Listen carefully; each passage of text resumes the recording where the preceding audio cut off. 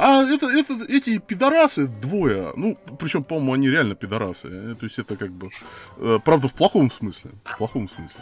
То есть в интеллектуальном.